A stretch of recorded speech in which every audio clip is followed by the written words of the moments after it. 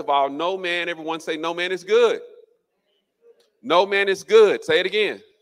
So next time you meet a transgender, don't think you're better than them because either one of you don't measure up to God's standards. Your laws, your rules on how someone needs to live and change cannot get them born again or save them. The law and commandments and people that are religious, if you're listening to me right now and you've read a hundred scriptures today, that still can't make a person righteous. Where we miss it a lot of times is we hang over people's head the laws, the rules, the regulations. Some people even use the Bible to whip people upside the head. The Bible says that conviction in John 16, 8, God sends the Holy Spirit. I want you to listen to me to convict the world of righteousness, sin, and judgment.